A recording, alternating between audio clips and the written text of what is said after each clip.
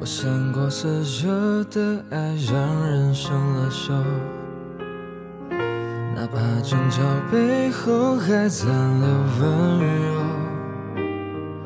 可已经被摧毁到面目全非的以后，怎么缝合一个新的我？我承认有些和解成遥远诉求。他在背后汹涌，还整断簇拥。如果我本就不够，拿什么给你拥有？那过期无效的挽留，爱可遇不可求，合适的地点理由，不能声音去猜猜。